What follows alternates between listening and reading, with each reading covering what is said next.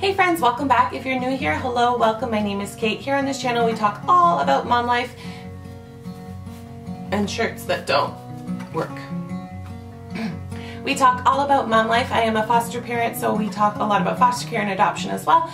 And you'll also see some stuff about intentional living and living with purpose because that is a huge passion of mine. So if any of that interests you, I would love to have you subscribe, hit that red button down below, and join this community. So today we're going to be talking about the six types of foster parents.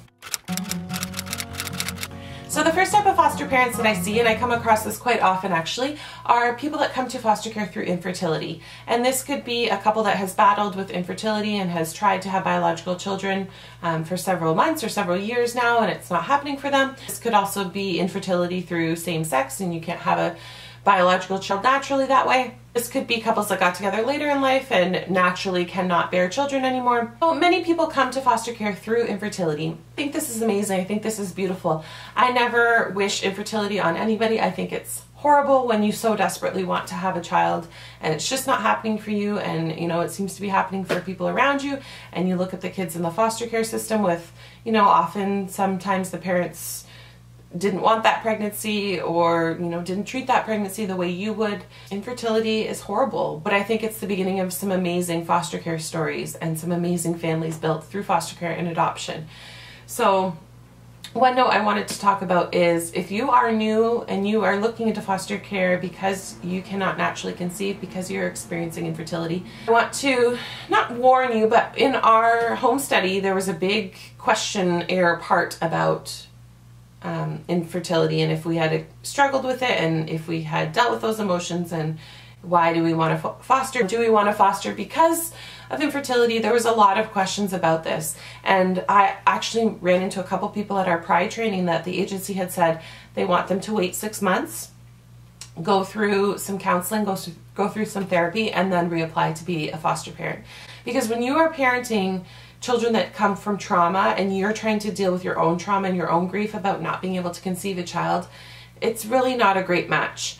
You need to have kind of dealt with those feelings and dealt with that grief. And that doesn't mean that you have to accept it and be okay with it, but you have to have at least come to terms with the fact and not treat foster parenting as your second choice. You know, they'd want you to spend some time getting educated on trauma parenting, dealing with kids that have some of these behaviors, making sure that you're mentally and emotionally stable to care for these kids. It's awful. It's something that's never going to go away. It's a, you know, a hole that I don't think can ever be filled no matter how you grow your family. Growing your family in different ways is absolutely beautiful, but if you have the deep desire to have biological children and it's not happening, like there's always going to be a little hole and that's okay. But does that sadness and does that grief kind of rule your decisions and rule your life and rule your way of thinking. That's what they're going to try and determine in your foster care home study. So I just want to encourage you if you're watching and you have come from that path that just really be prepared that you've dealt with your own grief first before you get into foster parenting.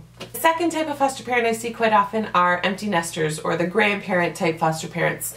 You know, their kids are gone or they're in college, they're all out of the house and they still have a lot of love to give and you know maybe they're retired and they just they feel like they want to get back to the community and do good and you know they love kids and it's they're sad that their kids have all grown up and gone and maybe they don't have grandkids yet or maybe they do. We have quite a few in our agency. The empty nesters are the older grandparent aged foster parents and I think this is a really beautiful thing because they're using their later years in life to give back to these kids and you know, they're not necessarily willing to adopt in the end because they're not going to be around forever. But grandparent type foster parents are really good at transition um, and they're able to give just as much love, doesn't matter their age, of course, able to provide a really safe and nurturing home in the transition time, whether that child's going back home to be reunified or whether that child will go on to adoption after. The third type of foster parent I see, and this would probably be the rarest, but people that are choosing to adopt through foster care as their first choice they don't have infertility struggles or they've never even tried to conceive a child naturally,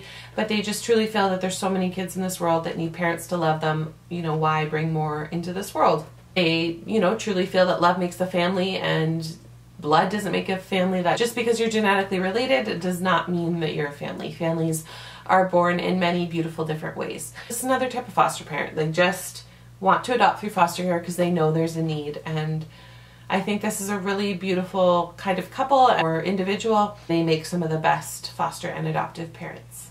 So the next type of foster parent, and I don't see this so often in my own agency, but I see it a lot in the online community, and I think it's so amazing, and that is single foster parents. First of all, before I get into this, I just want to say you guys are all amazing. I know it's many single mamas, but I, there's even some single foster dads out there, and I think you guys are awesome.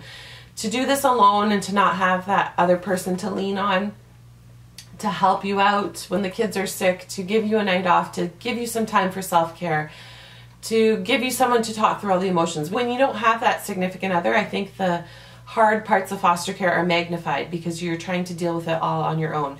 And I think often single foster parents have amazing support systems within their friends and their family but still they are taking on all of that res- responsibility on their own. You know for me i to think about doing it without my husband like i think i could but it would be so hard. So, so i give mad props to all you single foster parents. I think you guys are amazing. They want to have a family. They want to care for kids and they get into foster care because they know that there's a need for it. I don't have a partner that having biological children is an option but they're ready to be parents and they're ready to care for these kids. And i think i just think you guys are so awesome Next type of foster parents I see quite often are Christian foster parents, and I would say that this is the category that I fall into.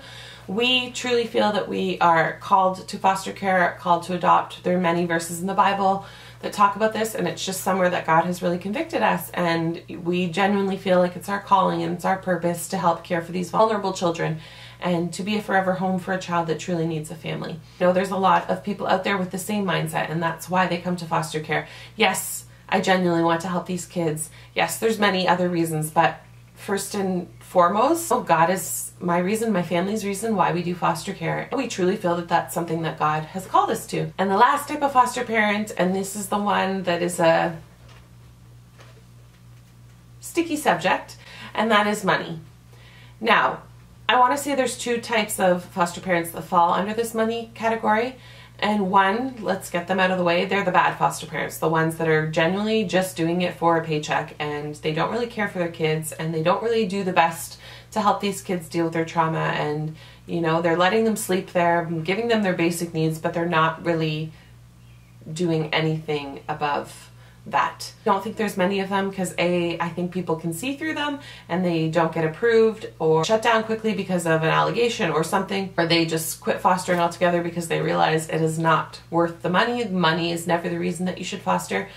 So let's get those people out of the way. Yes, they exist. It's an unfortunate thing. This world is not perfect. We are all sinful, fallen people, and fortunately, that exists. People see it as a paycheck, and that really breaks my heart because these kids are not a paycheck. The money is for helping you to parent and care for the child and provide for all their needs.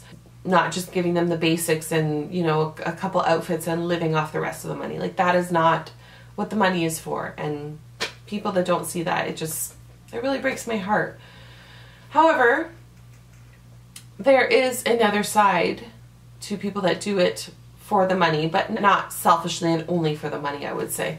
But I have seen, and I've seen it in my agency and some of um, the people that have come across, they are foster parents because they want to stay home while their kids are young and they want to earn an income while their kids are young.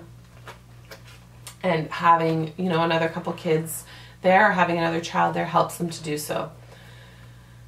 While I don't believe that this is fully the right reason that people get into foster care, it is a way that some people come through. But they genuinely do care and love for these kids. And I look at it like people that would do home daycare. They genuinely love and care for these kids and they want to be home with their kids very often or they want to be home, they want to work from home. And that is a way that they can do it. So yes, there are some foster parents that are like this. And, you know, I have a single mom friend who actually fosters because you know in order for her to work and put her kids in daycare she would have nothing left over and she feels like she's spending no time with her kids. So she became a foster parent yes to help a child to have the finances to help her stay home. It's any new information that becoming a foster parent doesn't you're not going to become rich off of it. There are private foster homes that pay quite a bit more than provincial or state-based agencies you know and there's various reasons. And I'll do another video about public versus private um, foster agencies, but you know, people that often do it for the money, you'll see them go through those agencies because they find they get a lot more support, they can complain a lot more, they get a lot more money.